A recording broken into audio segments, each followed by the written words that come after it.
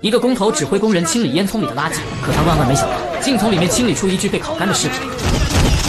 五秒后，NCIS 赶到现场。干尸身上没有任何能证明身份的东西，通过本地失踪人口比对，也没有发现与无名男尸匹配的数据。由于尸体被烟熏的原因，体表的腐烂程度并不能确定正确死亡时间。法医从尸体的牙齿判断，尸体至少已经死亡五年，这也能解释为什么查不到死者身份的原因。艾比在指纹库中找到两枚相匹配的指纹，然而正当艾比准备提取指纹信息时，The match file is restricted.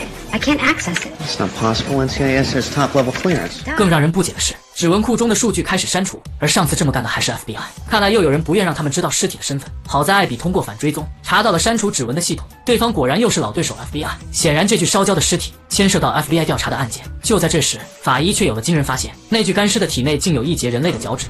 He was a cannibal, Ducky, and a serial killer.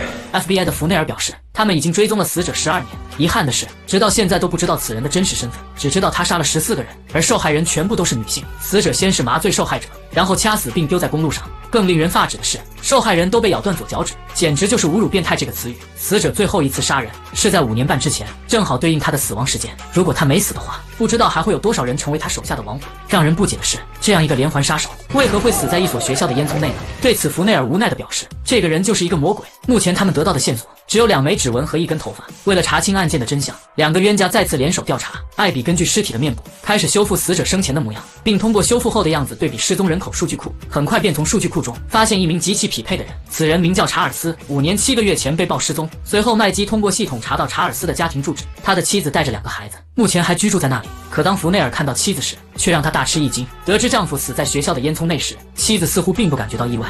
It was an accident, wasn't it? He was a building inspector.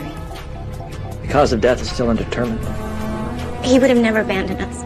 看情形，妻子并不知道丈夫是一个连环杀人犯。随后，福内尔告诉吉布斯，为何他看到妻子会大吃一惊，因为死去的十四个女受害者都跟妻子长得非常相似。谁能想到自己的丈夫竟然会谋杀并食用长得像妻子的人？在院子里，托尼发现一个埋藏的头骨。经过大面积的挖掘后，院子中总共有四具尸体，加上之前发现的十四人，也就是说查尔斯杀了十八人。不同的是，这四个受害人被他掩埋了，而其他十四人却是被抛尸。从妻子口中得知，查尔斯是一个非常好的丈夫，对所有邻居都非常友善。她不相信丈夫会做这种丧尽天良的事。本来查尔斯的死对她打击就已经很大，现在又被告知丈夫是一名连环杀人犯，对所有人来说都很残忍。现在的问题是，查尔斯的死是意外还是人为？好在经过法医连夜检查，终于发现了查尔斯的死因。之前他没有发现查尔斯身体上的伤口。是因为在烟雾的熏烤下，尸体几乎被烤成腊肉，而他的肌肉组织也因为熏烤开始收缩，从而导致原本大的伤口看起来只是一个小黑点。这也说明查尔斯是被刺中身亡，凶器像是一个冰锥或者是一把螺丝刀。由于发现的四具尸体都已经变成白骨，法医暂时难以判断出具体死亡时间，只能给出一个大概时间，几年或者几个月不等。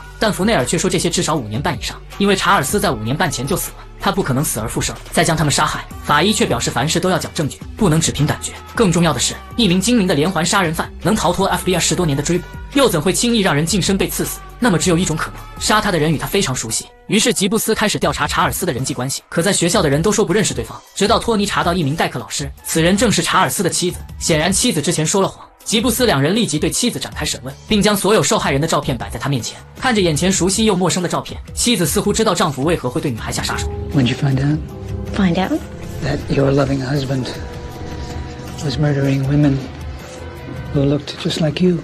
但妻子始终不肯承认，还坚称丈夫不可能是连环杀手。吉布斯缓缓脱下妻子的鞋子，果然不出所料，他的左脚与受害人完全一样。Your husband was an evil man. That thing was not my husband. It wasn't the man I married. 在种种证据面前，妻子承认杀了丈夫查尔斯，因为她没有别的选择。她不想让自己的孩子知道他们的父亲是一个恶魔，并在别人面前抬不起头。对于妻子杀人的动机，所有人都同情，也理解她的大义灭亲，并表示会在法官面前求情，对她从轻发落。但事情真的就是这样吗？艾比通过埋尸处植物的生长以及周边土壤分析，得出了一个惊人的结果：在挖出的四具白骨中，有一具尸骨被埋在院子里仅六个月，也就是说，这是查尔斯死后才被埋进去的。那真相就只有一个可能。Get away from her, Tobias. The bodies in the yard are not from five years ago. They're older? No. They're more recent than that. Her husband wasn't the serial killer. She is.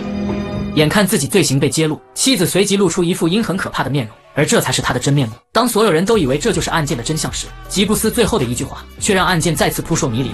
I can do you one better than that. No, can't top that, Jethro. What was a toe doing in her husband's stomach? 本集故事到此就结束，结局也给观众设了谜团。其实从吉布斯的话中，我们不难猜出查尔斯应该也是凶手，或者更具体说，这是一起夫妻连环杀人案。至于妻子为何要杀查尔斯，应该是 FBI 追查到一些线索，所以她将丈夫杀害并藏尸。毕竟一个死人是不能开口替自己辩解，这也能解释在查尔斯死后，妻子再次作案不是抛尸，而是选择埋尸。各位看官如果有不同见解，欢迎大家在评论区留言讨论，咱们下期不见不散。